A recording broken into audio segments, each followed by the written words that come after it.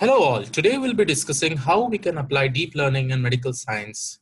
So here I'm going to take a data set which is from Kaggle where I need to determine based on the chest x-rays whether the person is having a disease called as pneumonia or not.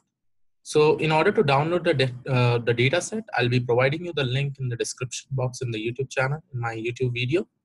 So from there, you can download this particular uh, data set. And here, when I go and see the data set, first of all, I have something called as X chest underscore X-ray. And inside the test and train, I have something called as normal and pneumonia categories. So pneumonia basically has all the images of the chest X-rays of the people who are suffering from pneumonia. And uh, this is how, first of all, what you have to do is that first you go ahead and please download this data set from here. Now, once you download it, I will just show you some of the images, how this particular data set looks like.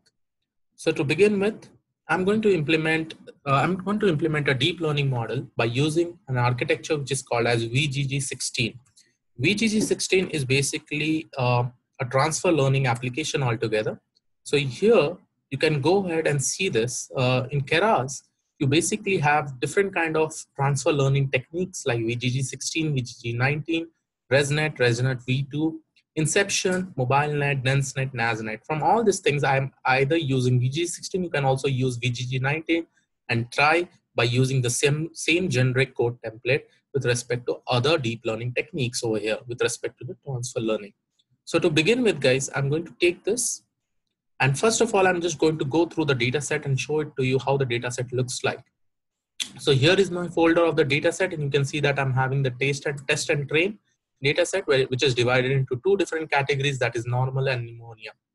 Now, in order to show you some of the images, let's, let's see the images, how it looks like. So to begin with, I'm just going to click on the first image and the first image basically looks like, like this. So this is a person who's actually suffering. This is the x-ray of the chest of the person who is actually suffering from pneumonia.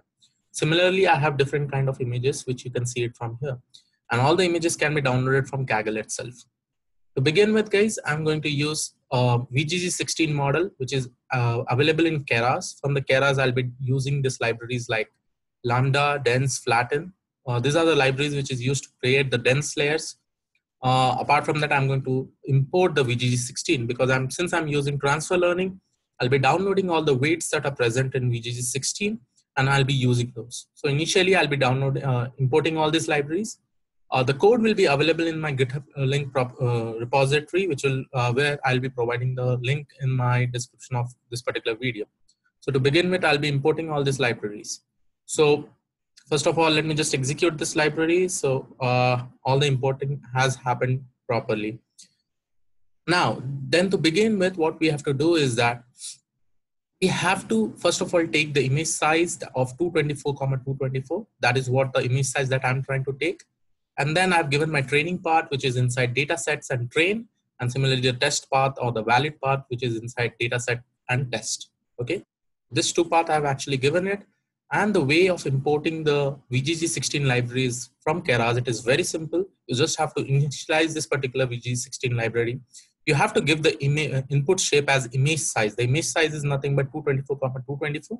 And always remember that all the images will be in RGB channel when you're applying transfer learning. So I've taken image size plus three. Three is basically for my RGB channel. And the weights that I'm basically using is of ImageNet. ImageNet are basically competitions where people come up with this kind of transfer learning techno- techniques. So where they have a very good accuracy or it is basically called as the state of art algorithm. After importing this, let us just go ahead and import this. You can see that uh, it'll get executed perfectly once it gets executed, what we have to do is that we have to, first of all, make our layers training as false because we don't want our layers to get trained again because we are using the weights from this ImageNet. So all these weights are basically uh, used for classifying thousand different category of images. So we'll be using those same weights. Only the output layer I'll be changing because based on my output layer, I just have two different categories that is normal and pneumonia. So what I'll do is that I'll just run this for loop and I'll just keep my trainable parameter as false. So here it is, I'm going to execute this. You can see that each and every layers now is becoming false. Then what I'm going to do is that I'm going to find how many number of classes are there and for that I'm using this glob function. So this glob, what it will do, I've taken, I've given the parameter of my train data set, that is data set slash train. Inside my train, you can see two folders over here in the right hand side. And based on this particular two folders, what I'm doing is that I'm trying to find out the number of classes. So here it is, I'll execute this too. It has got executed. Now you can, if you go into the variable, uh, the folders, you can see that in the folders, I have two, two folders itself. One is normal and pneumonia. So this is perfectly done. After that, what I'm going to do is that since I, while initializing VGG16, this include underscore top is set as false. I'm just removing the last layer, which I don't require it you know because the last layer i'm going to put a number of categories that i have that is normal and pneumonia. So basically two categories. So what i'm going to do is that first of all whatever the output of vgg i've got i'm going to flatten it. So i've executed this flattening thing. Then after that you can see that at the final layer i'm adding the length of folders. Length of folders over here is nothing but you can see that in folders i basically have two different folders inside this. So the length is basically two so this is basically my output layer, which I'm adding at the last layer of this particular transfer learning. So instead of thousand, I'm using just two. So here I'm using the activation function and I'm, and, uh, and I'm appending to this particular X layers itself. So here it is. So once I execute this, you will be able to see that my prediction layer is done. Finally, I will wrap it inside a model where my input will be my VGG dot input and my output will be the prediction one. So here it is execute this. Once my model is created, we can also see the summary of the model. Now see the summary of the model. The, the main interesting thing of this model is that this model also has uh, 16 layers of VGG basically, which is called as VGG 16. And then after that, you can see that the num uh, the final layer, which is my dense layer, is just having two parameter, two layers, two two nodes basically. The two nodes is because of the two different categories that I have. So here is my model summary, and this is just a concept of transfer learning where I've just used VGG16. I've just changed the last layer and made it as two layers, uh, two different categories output. After that, I will just compile it by using categorical, categorical underscore cross entropy. And then I'm using the optimizer as Adam and the metrics as accuracy. So here it is, I'll just execute it. After this, the next thing is that I need I, I should be able to you know retrieve my images from this particular folders right in my test folders so that I will be able to train my model before uh, and that can be done by using this particular library which is called as image data generator in the image data generator I'll also be doing some other kind of operation on the images right? rescaling shear range zoom range and horizontal flip so basically I'm changing uh, the images I'm rescaling the images again this will help us to create more additional images with respect to the same training data set. Whereas in the test data gen, I don't have to do anything. I just have to do the rescaling work. So here it is for the train and test, I'm doing it. Now, after that, I'll set the path image that is dataset slash train. My target size is 224, comma 224, and my batch size is 32. And what I've, what type of class mode I'm using? Basically, it's categorical because I just have two categories over here, so I'll be using this. I can also use binary since I have only two classes, but this will after executing this, you can see that what this statement will do is that it will retrieve all the data from the training data set that I have in normal and pneumonia folders, and it will show us the total number of counts with respect to the number of classes that I have. So here you can see that after I executed this, I found 5216 images, the total number of images from both the folder, which was belonging to two classes. Similarly, I'll do it for test set. In test set, let's see how many number of images are there. So you can see that for testing, I have 624 images that are belonging to two classes. Finally, I'll start running my epochs and over here, the number of epochs that I'm running is five and the steps per epoch, I've taken the number of uh, the training data set length, whereas the test set length I've taken as validation steps. And uh, here it is, and I'm going to execute this as soon as I execute this, uh, the epochs uh, running will uh, actually start. It will take around 15 minutes in my system, which is like a GPU over here. So uh, what I'm going to do is that I'm going to just pause this particular video for some time so that the running happens. And after the running happens, I'll again continue the video and I'll show you what was the accuracy that I got from this particular epoch values as we are going ahead. Let us wait for some time and let us just see the first epoch value that how it is running. And based on that, I'll just pause the video for some time and I'll show you how this particular video, uh, the accuracy looks like.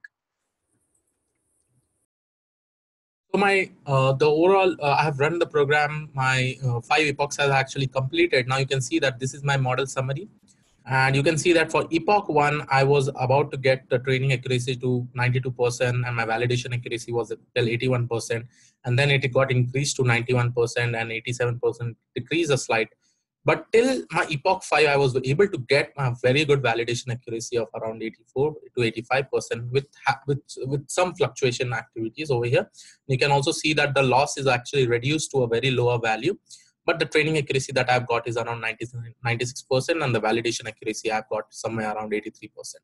So this is how my whole, uh, you know, uh, the I've got a better accuracy for that. Uh, now the next thing is that once my model is created, now you can see that I have named my model into something like model underscore VGG 19.h5. Okay, so I have stored this model into the same location over here. Now what I'll do is that fine, my model has got trained properly. I've got a better accuracy. Now let me just give a new image okay? I have a validation folder over here. Let me give a new image from here which is from normal or pneumonia categories and try to see whether i'm able to get the correct output or not. So when i actually use the same model over here i should be able to get my correct output. So that is where i'm going to see that how we are going to get this particular output or not. And for that i've written another type of code which uh, will actually help you to do the predictions for that so let me just first of all zoom in a little bit. I'm going to restart the whole kernel over here since I've executed the previous code over here. So the first thing what we have to do is that since my model is actually trained, I've actually created a h5 file which is like model underscore vgg 19.h5. Now you can see that in my previous code, uh, it is something called as uh, model.save. Here what I can do is that I can, in this code, I will just replace this name over here. So when my training happens, I will keep the file name like this model vgg19.h5. So as soon as the training happens, this file gets saved in this particular name, right? So again, uh, I'll be providing this particular whole code in, in my GitHub uh, and the link will be given in the description in the YouTube video, in this particular YouTube video. So let me just go ahead and, you know, pass a particular image from this particular validation data set and then from this validation data set, what it will do is that we'll go and hit our model. And what will be the prediction that will be the given by our model, we'll, we'll check it out. Okay. So for first of all, I, what I'll do is that I'll just take this particular image that is a normal image. So this normal image is basically a person who is not having pneumonia. So I'm just going to give this particular image to my model and see what my model will be doing the prediction. So to begin with, what I have to do is guys, First of all, I'll import this uh, libraries from keras.models as load, load model, image, process underscore import, numpy, and I'll load the model first of all that I have present in the same location. So you can see that over here, I have model VGG 19.h5. This will get loaded and it will take some time to load. Okay, it has loaded perfectly now. Now the next thing is that I'm going to load this particular image that is present inside my validation, normal, and this particular file, right? So I'll load this particular image and then I'll convert it into an array. Now you see this step by step how we do it. Both this file will be put in the GitHub link so you can see it from there. So once I load this, if I go to the variable explorer, you can see that this is my new array of the image that I get in the RGB format, right? That what I'll do is that I'll convert that into an array and then I'll expand the dimension because uh, this particular predict statement will require four different dimensions. So for that, what I'll do is that I'll also do pre-processing underscore input. So here you can see that it is pre-processed now. Then after that, I will be doing something called as model.predict and whatever the image data I have done after the pre-processing, so basically the image, this one which I have given, that I have actually followed these steps. First of all, I've loaded the image, converted into an array, expand the dimension and pre-process that particular image. So let us go and see after that what will give me the predictions. So here it is, my uh, code has got executed correctly. Now let us observe the class. And you can see that the class output model.predict is giving us two values that is either from zero. Zero and one basically indicates that in my file explorer, if you see that I have two folders, right? In my training and test data set. One is normal and one is pneumonia. The zero basically indicates for normal and one basically indicates for the uh, label value for the pneumonia. So for the zero, I'm getting the probability as one. That basically indicates that whatever image I had actually given from the normal, it is basically a normal image. and the person is not having that particular pneumonia disease for this particular chest, chest x-ray scan.